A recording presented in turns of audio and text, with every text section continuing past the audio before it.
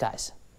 Well, Savannah Mayor Eddie DeLoach is now talking to us about the vice president's recent visit. City leaders hoping it could benefit Savannah when it comes to federal funding. Now, the mayor says he and Congressman Buddy Carter really stressed the importance of getting more money into the president's 2018 budget for the Savannah Harbor Deepening Project.